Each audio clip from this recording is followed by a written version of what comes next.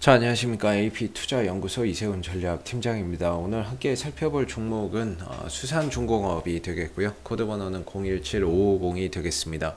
현재 시각 2021년 3월 11일 목요일 에, 11시 32분을 지나가고 있는 시점이 되겠고 수산중공업은 현재 3.69% 정도의 소폭 상승 흐름들을 보여주고 있는 상황이 되겠습니다. 아, 저희 채널에서 어, 이 종목에 대한 기본적인 내용과 기술적인 흐름에 대해서 어, 설명을 드리고 있는데요. 구독과 좋아요 눌러 놓으시면 이 종목에 대한 리뷰 영상 받아보실 수 있으시고요. 항상 참고 영상으로만 예, 바라봐 주시면 감사하겠습니다. 아, 수산중공업은 원래 이제 건설 중장비나 특수 차량의 예, 제조 판매 산업을 영위하고 있다라고 보시면 될 것 같은데 뭐 크레인, 트럭 크레인이나 유압 브레이커 같은 이런 이제 특수 차량을 어, 만들어내고 있는 회사가 되겠고요. 어, 그러다 보니까 이 사업의 본질적인 내용을 바탕으로 보면 이 회사는 이제 SOC 관련주로서 볼 수가 있겠죠. 사회 간접시 자본 시설이나 대규모 토목 건설이나 어, 이런 부분들이 발생이 됐을 때 국가적인 대규모 뭐 투자나 이런 것들이 발생이 됐을 때 어, 거기에 따른 이제 수혜주가 좀 될 수 있는 부분들이 수산중공업이 아닌가라고 생각해 볼 수 있을 것 같은데 어, 지금 이제 수산중공업이 어, 최근에 이제 예, 작년부터 주가가 이렇게 크게 움직였었던 부분들은 어, 정치 테마주로서 인맥 관련주로서의 상승 흐름들을 좀 어, 만들었다라고 보시면 될 것 같습니다. 특히나 어, 이 정세균 어, 현 국무총리 관련주의 대장주로서 어, 주가의 흐름들을 좀 주도를 했다. 이렇게 보시면 좋을 것 같은데요.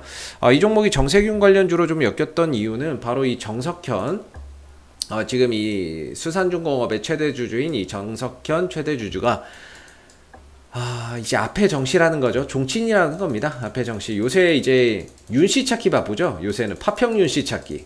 와 진짜 주식 시장이 어쩌다 이렇게 됐는지는 모르겠는데 뭐 항상 이제 대선 앞두고 이런 어, 현상들이 많이 벌어진 것도 사실입니다 과거에도. 어, 지금 이제 앞에 정시라 그래서 어, 정시 종친이다. 그래서 이제 수산중공업이 정세균 관련주가 되고 있는 거고 최근에는 이제 파평윤 씨 대주주나 누가 이제 윤 씨다 그러면 이제 윤석열 관련주로 엮이는 어, 이런 이제 현상들이 벌어지고 있는데 이제 지금 정치 테마로 간다는 거는 결국에 재료하고 수급으로 간다는 거거든요. 어, 재료와 이제 수급으로 가는 거라서 회사가 좋고 안 좋고 이런 거는 전혀 상관이 없다 이렇게 보시면 됩니다. 회사가 뭐 좋고 나 좋으면 더 좋겠지만 회사가 좋다고 더 잘 가고 뭐 회사가 안 좋다고 못 가고 이런 건 아니라는 거죠. 그리고 회사가 좋으니까 주가가 뭐 안 떨어질 거예요. 그런 것도 아니고요. 어, 결국에는 이렇게 이제 정치 테마주들은 수급 빠지면 어, 결국에 이제 다 빠지는 건데 어, 수산중공업의 회사만 놓고 봤을 때도 뭐 흑자 경영의 매출액 한 천억대 예, 초반대에 나와주고 있고 부채 비율이나 이런 것들도 한100 정도로 어, 뭐 비교적 무난하다 이렇게 볼 수 있는데요. 지금은 뭐 회사 좋고 나쁘고 이런 거랑은 전혀 상관없이 이제 주가가 움직이는 거라서 어, 차트나 그 다음에 이 종목의 재료나 수급 이런 부분들에 의해서 이제 주가가 어, 이제 가격 변동성이 생길 수밖에 없다 아, 이렇게 생각하시면 좋고 어, 지금 이제 기대감에 올라간 거죠. 정세균 그 국무총리가 앞으로 이제 대선에 나올 가능성 그 부분에 대한 기대감의 주가가 이제 반응이 나왔던 거고 현재는 어, 가격 조정과 기간 조정 흐름 속에서 숨고르기를 보여주고 있다라고 보시면 됩니다. 그래서 전체적인 이동 평균선은 상방을 지향하고 있습니다. 그러니까 중장기적인 관점에서 큰 흐름에서 보면 주가는 여전히 상승 추세를 그려가고 있다. 상승세를 보이고 있다. 다만 그 상승세가 요새 좀 꺾이면서 어, 조정의 폭이 좀 진행이 되면서 이런 이제 기왕이면 좀 지켜줬으면 하는 그런 지지 라인도 다 깼고 그러면서 조정의 폭이 커졌고 그러다 보니까 주가나 이런 부분들이 하염없이 좀 흘러내리는 어, 좀 지켜줬으면 하는 이런 자리도 어, 깨버리고 내려간 거죠. 어, 그래서 주가나 이런 부분들이 현재 가격까지 오게 됐는데 제일 좋은 거는 수산중공업이 주가가 올라가는데 뭐 상한가나 급등이나 이런 끼가 많은 종목이잖아요. 네, 그리고 소형주고 여기까지 올라와서 1,800억이면 이 밑에 내려가 있으면은 한 1,000억도 안 된다는 얘기가 되거든요. 이거 이제 끼가 많은 종목인데 제일 좋은 호재는 정세균 국무총리가 총리직 내려놓고 정치 출마, 예, 대선 출마 선언하는 게 이 종목에 있어서는 또 가장 큰 호재가 될 수 있습니다. 근데 뭐 일단 앞으로 좀 지켜봐야 되겠지만은 이런 이제 정치 행보, 뭐 윤석열 뭐 29%뭐 어, 이낙연 24%어뭐 이렇게 나오잖아요. 그리고 여기 정세균 국무총리가 3.6%뭐 이렇게 나오고 있는데 결국에 이런 이제 이슈가 나와야 된다는 거죠. 이런 뭐 출마 선언이나 이런 것들이 나왔을 때 주가나 이런 것들은 이제 강하게 반응을 할 수밖에 없고 다만 이제 언제 할 거냐 그건 모르는 거죠. 예, 그렇기 때문에 이제 기술적으로 조금 풀어보면 기술적으로 풀어보면 일단 좀 아쉽게 요 상승 추세는 꺾였습니다. 아 그렇기 때문에 어, 당분간은 이전 고점이나 이런 것들을 넘어가는 것보다는 어느 정도 이런 이제 하나의 뭐 박스권이 됐던 조금 이제 정체되는 그런 이제 모습들이 나올 거라고 봐요. 아니면은 이게 헤드앤숄더가 됐던 헤드앤숄더 패턴이라고 있죠. 이런 이제 패턴이 됐던 이런 이제 흐름들이 나온다라고 볼 수가 있겠는데 좀 제한적인 움직임이 나올 거라고 보는데 첫 번째 하나 제가 개인적으로 생각하기에 어, 반등은 확실히 있을 것 같다라는 생각이 듭니다. 어, 지금 고점 대비 한 40% 정도 빠졌거든요. 오늘 뭐 장중에 한 7%뭐 이 정도까지 올라오고 막 그랬었는데 이걸로 뭐 반등이 다 나왔다라고 보기에는 조금 어렵겠죠. 떨어진 폭이 있으니까. 적어도 이 하락분에 대해서 되돌림 반등 정도는 분명히 좀 있을 것 같다라는 생각은 듭니다.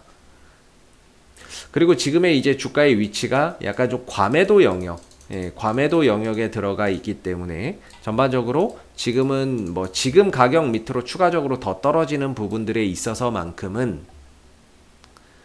이제는 어, 좀 과매도 영역에서 말 그대로 그냥 에, 버리는 것밖에 안 된다라고 저는 생각이 들거든요. 저는 여기서 물론 조금 더 빠지면은 이제 한 3천원 정도까지도 혹시라도 어 좀 기술적으로는 내려올 수 있다라고 보는데 뭐 거기까지 내려올지 아니면은 뭐 여기서 돌아갈지는 몰라도 최대 뭐 빠지면 한 3천원 정도까지의 변동성도 어, 생길 수는 있다라고 생각을 합니다. 근데 뭐 지금 봐서는 여기까지 올 것 같지는 않지만 어, 현재 이제 이 하락에 대한 반등은 추후에 저는 만들어질 수 있을 거라고 보고 지금은 과매도 영역이기 때문에 이 구간에서는 점진적으로 좀 반등에 대한 가능성을 우리가 좀 기대를 해볼 수가 있고 조금 이제 단기적으로 보면 주가가 5일선 아래에 있잖아요. 네, 5일선 아래에서 이렇게 흘러내리고 있는데 오늘 주가가 좀 상승이 나왔거든요. 이 상승에서 종가가 5일선 위로 좀 안착을 한다면 이런 흐름들이 나온다면 어, 이후에 주가의 반등 탄력이나 이런 것들이 훨씬 더 수월하게 나올 가능성이 있지 않을까라고 생각하고 있습니다. 그래서 오늘 상승 흐름들이 나왔지만은 조금 아직까지는 종가가 뭐 대봐야 알겠지만 5일선 위로 좀 올라가는 이런 이제 모습들이 나온다면 훨씬 더 좋지 않을까 이런 생각이 들고요. 5일선을 회복해 주면서 변곡점을 만들어 버리는 이런 이제 상황들이 나온다면 이후에 반등 탄력이 훨씬 더 수월하게 나올 수가 있고 오늘 이제 포인트나 이런 것들 보면 오늘 올라가면서 거래량이 이렇게 쭉 터졌죠. 올라가면서 거래량이 터졌는데 떨어지고 횡보하는 흐름에서는 거래량이 나오지 않고 있기 때문에 오늘 좀 어디선가 모르게 좀 저가 매수세나 이런 것들이 좀 유입된 이런 이제 모습들이 어, 상당히 좀 긍정적이다 이렇게 말씀을 드릴 수가 있겠고 반대로 떨어지고 횡보할 때는 거래량이 나오지 않고 있기 때문에 이후에 재차 다시 또 어, 반등이나 이런 것들을 가져갈 가능성이 좀 있지 않나 아, 이렇게 좀 보여지는 부분이에요. 그래서 전반적으로 저는 이 하락에 대한 반등이나 이런 것들이 분명히 어느 정도 어, 나올 수 있는 구간이라고 보고 있고요. 그 가격이 뭐 정확하게 뭐 3,500원이다, 3,300원이다, 3,200원이다 이건 알 수는 없지만 만약에 제가 한다면은 저는 여기서 이제 좀 분할 매수 한 두 번, 세 번에서 뭐 네 번 정도로 나눠서 뭐 분할 매수를 좀 한번 단기적으로 좀 뭐 만약에 제가 한다면 그렇게 보지 않을까라고 저는 생각을 하는데 어제도 말씀드렸듯이 뭐 그렇게 보는데 뭐 여전히 예, 추가적인 반등에 대한 가능성이 뭐 있을 거라고 보고 있습니다. 그리고 이 종목이 참고적으로 이제 실적을 기반으로 해서 움직이는 게 아니라 테마로 가는 거기 때문에요. 뭐 장기적으로 가, 좋게 보시고 가시는 분들도 계시겠지만 기왕이면 뭐 이런 종목들은 좀 단기적으로 어, 단타나 이런 관점에서 좀 풀어가시는 게 적합하지 않을까라고 생각이 들고요. 여기서 이제 만약에 뭐 반등이나 이런 것들이 예, 출현이 된다라고 했을 때 예, 좀 저항대가 될 수 있는 자리가 한 4천원대 초반대부터 시작될 수 있다.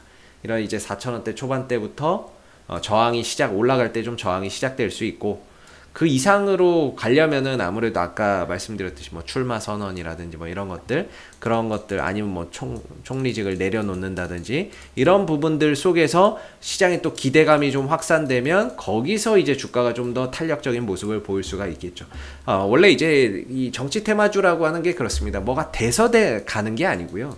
지지율이 높고 나 높으면 높, 좋죠. 예, 높으면 좋은데 낮아도 어, 낮아도 기대감으로 가는 거고 수급으로 가는 거기 때문에 실질적으로 뭐 되고 안 되고보다는 가능 그냥 기대감 이런 것들이 결국에 이제 주가를 어, 끌어올리는 하나의 요소로 작용을 하죠. 그래서 나중에 이런 기대감이 소멸되면 주가는 이제 다시 원점으로 돌아오는 그게 이제 정치 테마주의 본성인데 현재로서는 아직까지 저는 재료의 관점에서 봤을 때 아직 뭐 재료도 어, 어, 살아 있다라고 보여지고 그리고 기술적으로도 어, 추세 전체적인 이 추세는 좀 꺾였지만 그래도 반등에 대한 가능성은 여전히 가져보기에 충분한 그런 구간이 아닌가 이렇게 생각이 좀 드는 부분이다라고 말씀을 좀 드리도록 하겠습니다. 그래서 저는 지금 자리 에, 지난주 어, 요 시점이죠. 이번 주 화 뭐 수 오늘 그 다음에 지난 어, 월, 화, 수, 목 지금 이 영역 자체가 그냥 이제 과매도 영역이다.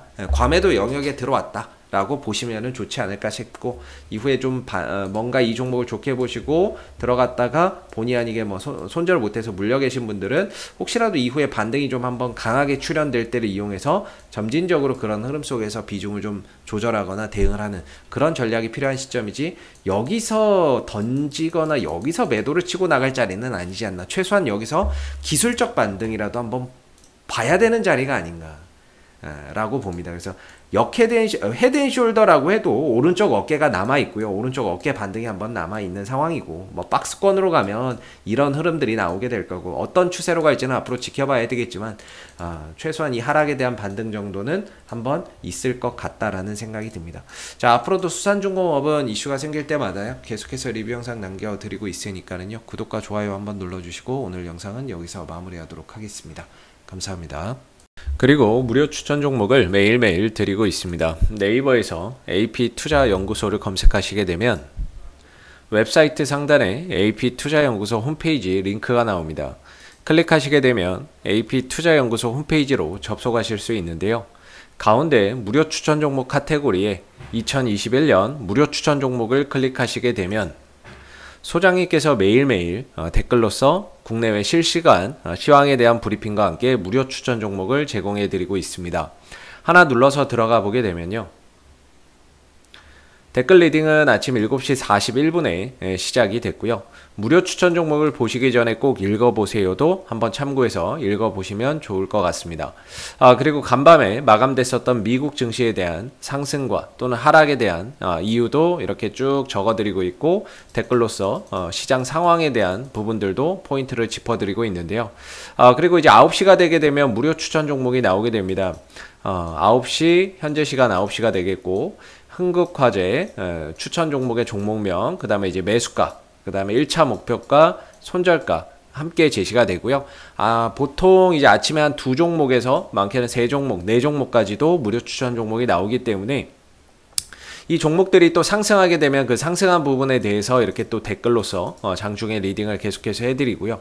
반대로 또 하락하게 되면 그 하락한 부분에 대해서도 어, 댓글로서 리딩을 해드리고 있기 때문에 무료 추천 종목이 필요하신 분들은 홈페이지에 오셔서 많은 도움 받아가시면 좋겠습니다. 감사합니다.